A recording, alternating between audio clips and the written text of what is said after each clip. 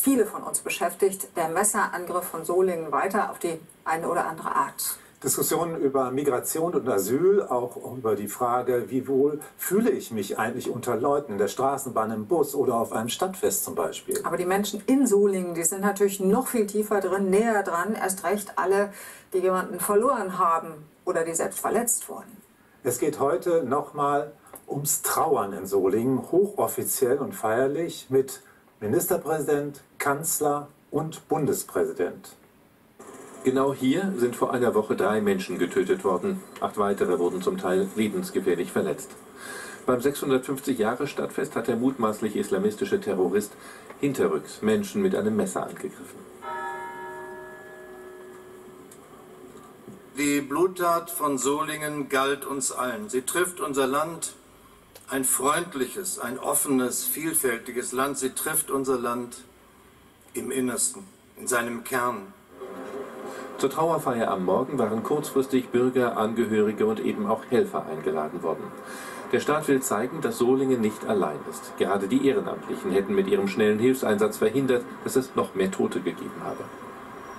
Ich habe mir nicht vorstellen können, so etwas zu sehen und ich möchte mir nicht vorstellen, so etwas noch einmal sehen zu müssen, sagte mir eine Helferin. Ich werde diese Worte nie vergessen und auch die Tränen in den Augen dieser Helferin und anderer, die berichtet haben, nicht.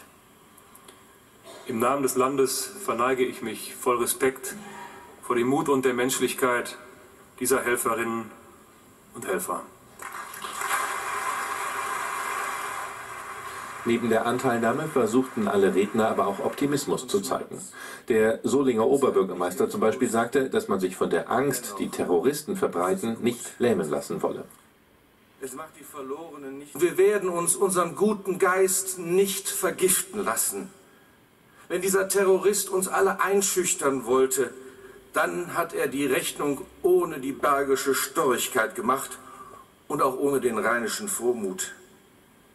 Wir werden weiterleben in Freiheit und in Freude.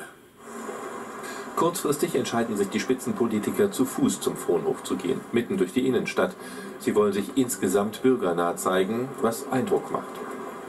Ich bin mit gemischten Gefühlen heute Morgen hierher gefahren, habe mir die Frage auch gestellt, ob das so nötig ist und ob, wie viel Bedeutung das dem Ganzen beimisst, wie viel Aufwand das auch ist. Aber jetzt muss ich sagen, das Gefühl, nicht alleine zu sein, sondern gesehen zu werden, hat da schon gut getan. Die Bürger erwarten jetzt auch Taten. Der Bundespräsident und die anderen Politiker haben den Solingern auf jeden Fall zugehört.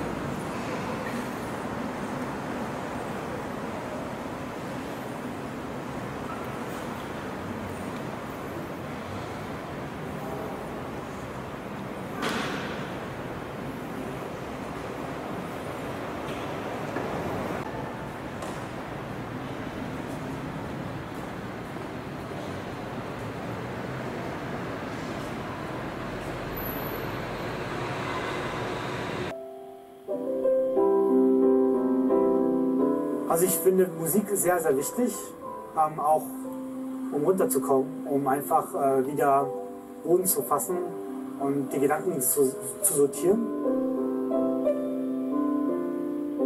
Ich bin Davide Mantello und bin Klavierspieler auf der Straße hauptsächlich. Und hin und wieder spiele ich Klavier da, wo es brennt. Jedes Klavier hat Rollen. Meine Rollen sind größer. Und das sind Rollen aus dem Gabler, Gabelstapler. Ja, einfach eine Deichsel dran geschweißt und etwas leichter gebaut. Das ist nämlich kein richtiger Flügel. Das ist ein elektronischer Flügel, aber sagt es kein. Als ich angefangen habe mit diesem Projekt äh, in Afghanistan, da habe ich bei der Bundeswehr einfach ein Klavierkonzert ähm, gegeben, äh, Weihnachten, also in Bataclan. Äh, in Paris war ich zweimal, bei Charlie Hebdo. Ähm, da war es eben nur ganz kurz, ich wollte nur mein Statement äh, lassen, also habe ich eben nur Imagine gespielt. Ähm, einfach damit die Message rausgeht. Ja, da war es anders. Heute hier Solingen, das ist Deutschland, das ist meine Heimat und ich möchte, dass es sicher bleibt in Deutschland und deswegen ja, bleibe ich ein paar Tage hier Also diese Stimmung ist richtig für das, was wir jetzt brauchen. Einfach ein bisschen ähm, ruhigere Töne, nicht die äh, großen polemischen Auseinandersetzungen und auch nicht die großen äh, politischen Reden, sondern wir, glaube ich, alle hier in Solingen wollen einfach Ruhe haben. Ja, es fühlt sich gerade friedlich an, tröstend.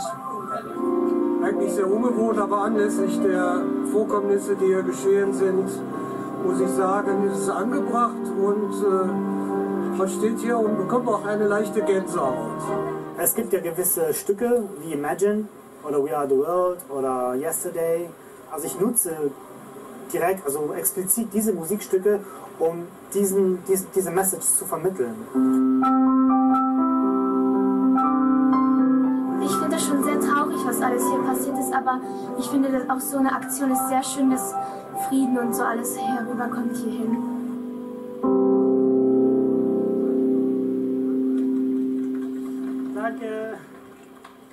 Wenn Sie noch ein bisschen lieber gelauscht hätten, das machen wir später noch, versprochen.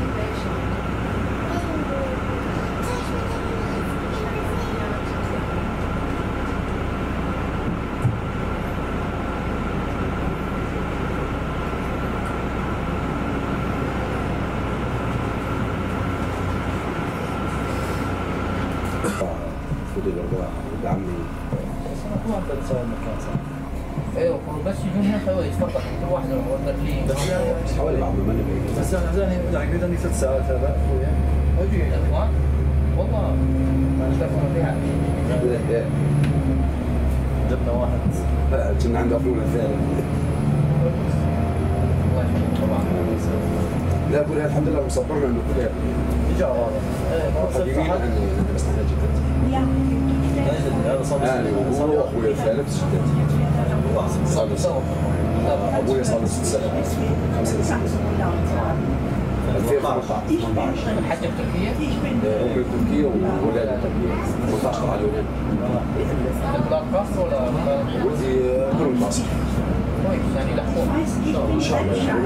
16 سنه ساعات على قرار والصغير 12 جديد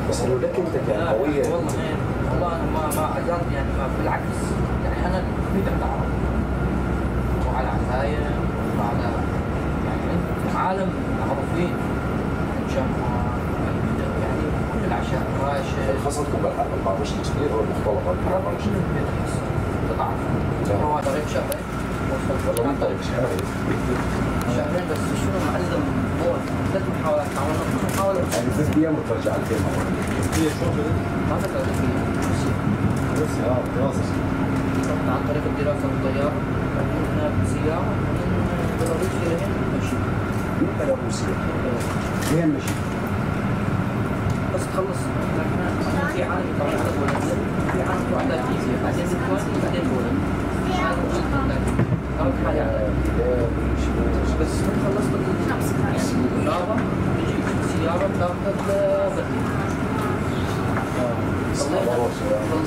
ضلينا ضلينا 24 ساعة في الشحن اليوم كان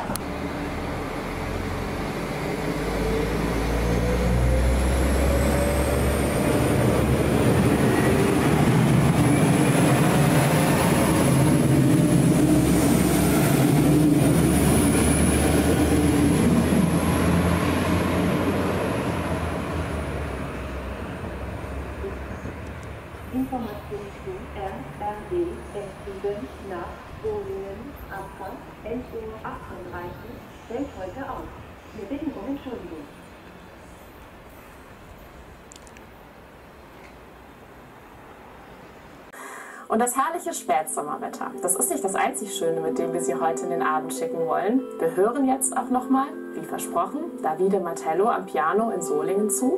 Deswegen bin ich jetzt mal viel früher leise als sonst, damit diese kleine Friedensbotschaft gehört werden kann. Ich wünsche Ihnen einen schönen Abend. Tschüss.